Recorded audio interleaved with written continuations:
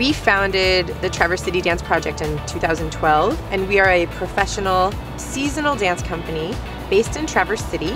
We focus on collaboration and working with musicians, and now we work with Parallel 45, the theater company, um, and bringing dance to the community um, beyond in Traverse City and across northern Michigan. Our grant project is the Moving Theater, and with the Moving Theater, it is a mobile stage, and it's a stage that's very appropriate for dance. So it's a sprung floor. It has an overlayer that we call Marley, that's a safe surface for dancers um, to work on. We can, you know, go to communities that don't have access to dance, and that was the big push for this was access. Performing arts changes us, and it also brings communities together. So I think it's, it's immeasurable the benefits of having arts available within your community.